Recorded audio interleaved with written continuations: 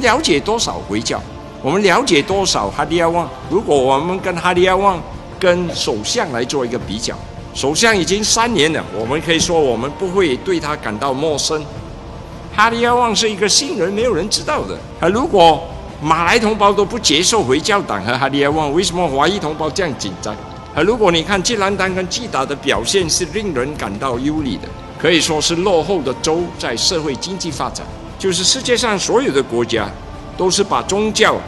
和政治把它分开，但是马来西亚是好像行动党要我们支持一个政党回教党，把宗教回教、政治结合起来来治政。和以回教治国，和这个是一个多元种族的国家，加上他的开倒车的政策，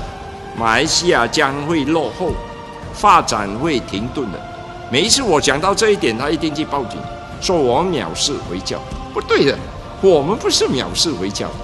我们是针对回教党。回教党是有政治的野心，要夺权，回教是官方的宗教，完全不同了。昨晚我出席党庆的时候，我们的周主席在台上讲，有人跟他投诉说，有一个花园，他们要主办一些农历新年的一些节目，呃，但是他已经告诉他，他要定下一些可以说条件或者 condition 下来，就是第一，女性不可以上台表演，除非他们是小学生，他唱的播的